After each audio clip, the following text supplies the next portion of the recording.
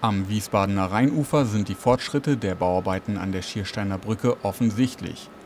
Und auch auf der Redbergsaue geht es voran.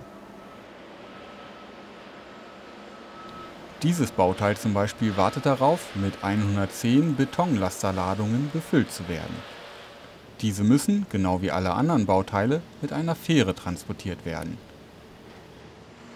Ein Jahr dauern die Bauarbeiten an der Schirschener Brücke nun an. Zeit für eine Bestandsaufnahme. Wir sind jetzt genau ein Jahr im Bau und wir sind im Zeitplan.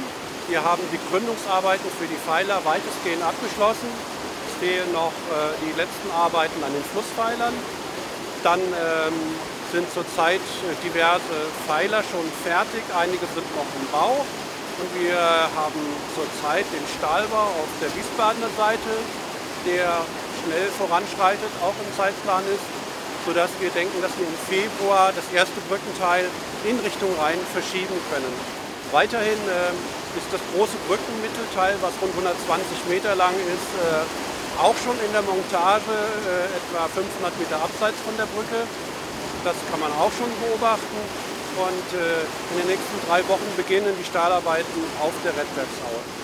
Das Bauareal auf der Redbergsaue erinnert vage an einen riesigen Sandkasten sehr zur Freude der Baggerfahrer. Also macht ziemlich gut Spaß mit dem Bagger, wie in Playstation.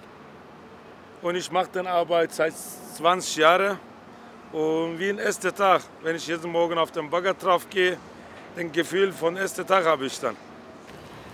Das klingt doch irgendwie nach einem Traumjob auf der Baustelle der Schiersteiner Brücke.